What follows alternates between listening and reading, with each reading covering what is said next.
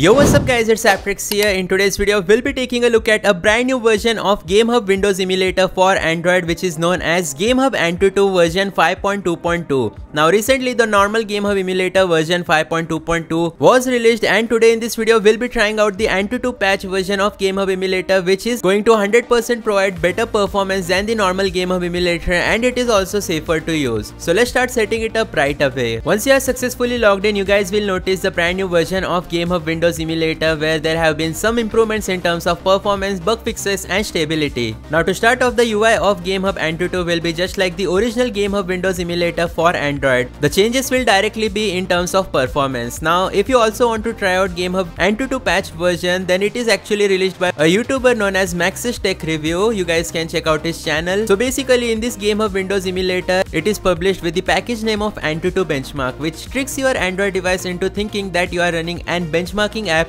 which lets you utilize the full potential of your Android device and even get better performance in games like GTA 5, God of War or any high-end title compared to the original normal GameHub emulator.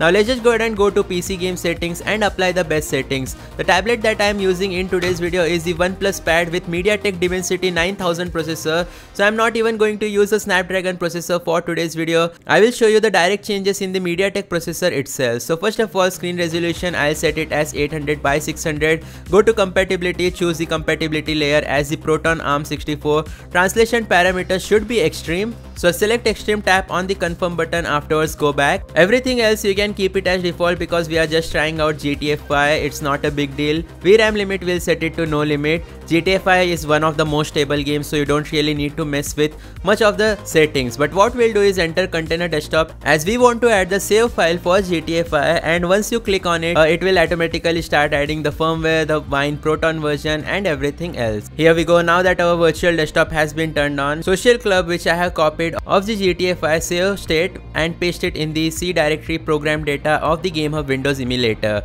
Once that has been done, we'll simply exit the container by tapping on the exit button. Let's go back afterwards, simply tap on the game and if you guys have seen my GTA 5 Mali GPU gameplay test video, you guys know exactly how much FPS do I get in this emulator on the Dimensity 9000 processor of this OnePlus pad. I get about 15 to 30 FPS on a very good day with minimal crowd and also some stuttering issues. But with the Antutu version, I am pretty sure that I should be getting lots of more FPS. So I'll simply swipe back afterwards, we'll go to the performance monitoring section Native rendering should be turned off, disable the frame limit option afterwards. Everything else you can keep it as default, simply enable the full screen mode. And there we have it guys, our GTA 5 has successfully started and towards the bottom section you guys can see we are getting about 30 FPS, 38, 39 FPS in the house itself. So 39 FPS is actually an improvement but there will still be stuttering issues because the shaders are being compiled, it's okay. The stuttering issues will be there only once and once that has been done, as you guys can see the stuttering issues have gone away. So the stuttering issue is actually temporary. And here we go. Once we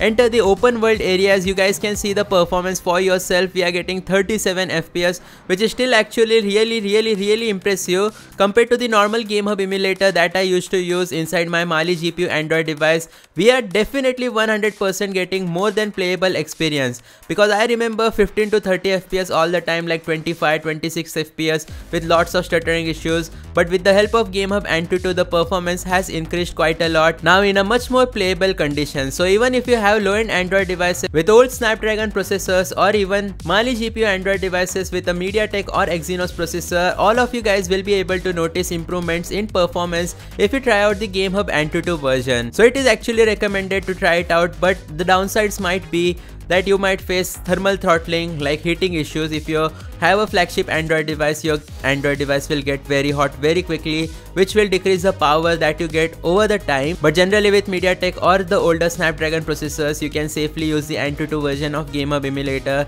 it just doesn't work well with the flagship android devices like 8 gen 3 or even 8 elite etc because they have a lot of power and there is not enough cooling to contain that power. Anyways that's going to be it for today's video. Thanks for watching. Hit that like button subscribe turn on all notification. I'll see you guys next time.